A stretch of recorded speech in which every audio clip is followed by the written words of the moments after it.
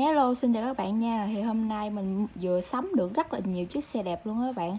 Thì hôm nay mình giới thiệu từng chiếc xe cho mấy bạn xem nha. Đầu tiên mình sẽ giới thiệu cho các bạn mấy chiếc xe bự này trước nha. Đây, đây là một chiếc xe cứu quả nha các bạn. Wow. Chiếc xe này thì 6 bánh nha các bạn.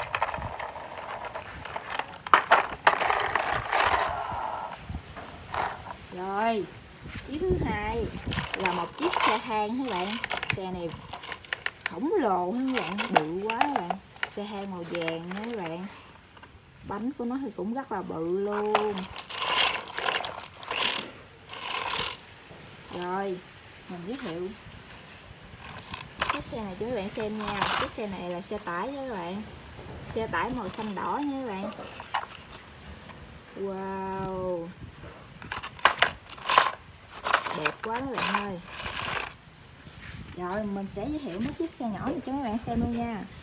Đây là một chiếc xe tải nha các bạn. Mình thể để cắt đây mình chở nè. Xe tải màu cam ha, có hai bạn ở trong ngồi lái nữa các bạn ơi.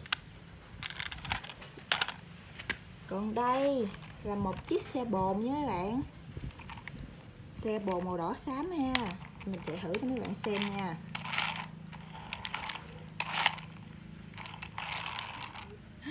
Còn đây là một chiếc xe trộn xi măng nha mấy bạn. Màu xanh dương ha. Đó. Còn đây là một chiếc xe gác nha mấy bạn. Mình có thể để, để gác vô đây nè. Mình đi thu gác nha mấy bạn ơi.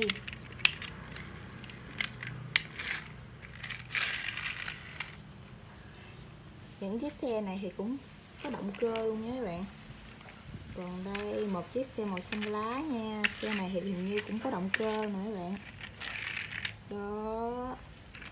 Còn đây, một chiếc xe tải màu đỏ nha các bạn. Xe tải mini nha các bạn.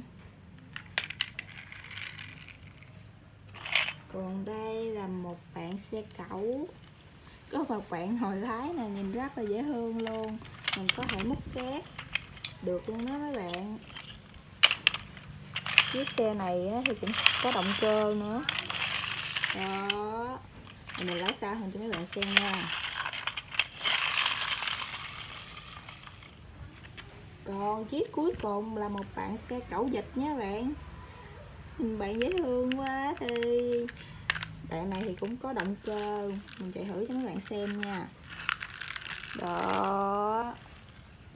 Rồi, xin chào và hẹn gặp lại các bạn ở video tiếp theo nha.